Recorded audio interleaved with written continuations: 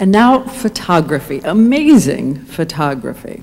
The story of billions of years of evolutionary history told through the microphotography of Lennart Nilsson. For years, Nilsson kept his own secrets. Perfect. Look at the camera now. Until now, when, for the first time, he agreed to be filmed at work. To reveal his special techniques. Techniques that can capture a broken heart. That can take us through arteries. That can show us where billions of blood cells live and die.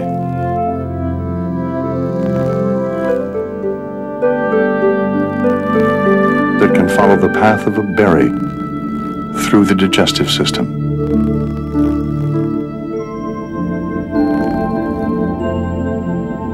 Techniques that can take us down the larynx,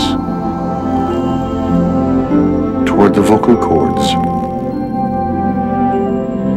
and into the windpipe. Techniques that can bring art to science and science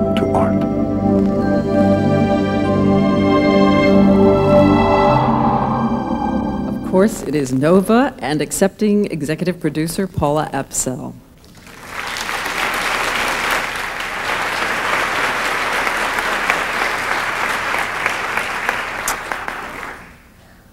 Both artist and scientist, imbued with a reverence for life in all its manifestations, Lennart Nilsson de delights in revealing for us with his camera what our eyes cannot see. But Lennart Nilsson's images may never have reached us were it not for the vision of Swedish executive producer Bo Erikson. It is Bo we have to thank for the classic Miracle of Life as well as this year's Odyssey of Life. Bo was supported by Dan Lorentzen of Swedish television as well as a talented team producer director Michael Agaton, producer Lars Rangfeld, and Nova's senior producer and writer Tom Friedman. Thanks as well to Melanie Wallace, Beth Hoppe, and Alan Ritzko, as well as Peter McGhee, the heart and soul of national productions at WGBH. On behalf of NOVA, we are all honored to accept this award.